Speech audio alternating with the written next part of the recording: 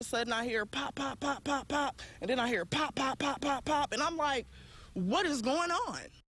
Neighbors shaken after gunfire rips through a Columbia neighborhood and the suspects are still on the run tonight.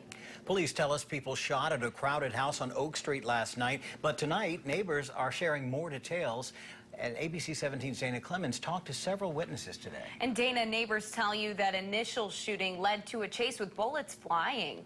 Marissa, neighbors on Oak tell me they watched as three men stood in the street and shot at a house. The details on what happened immediately after are still a little unclear, but they say a chase started with three or four men chasing after one and all of them shooting the whole time. See the bullets trailing him because they was hitting the ground, you could it makes a little smoke when it hits the you could see it.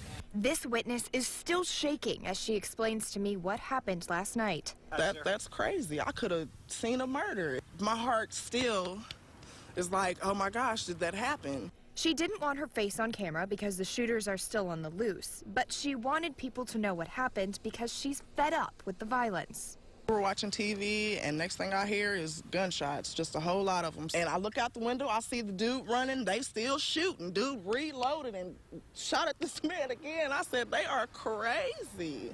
She didn't know why this group of men was chasing and shooting at one man. So I went to the house where the gunfire started to find out. But I was promptly kicked off the property. A neighbor tells me three men stood outside and shot at this house, and after several bullets hit a car and the house, one man shouted, I think I got him, and they ran. This is a neighborhood full of kids, you know, to have that kind of violence here, that's crazy. As police search for the suspects, neighbors are hoping for safety.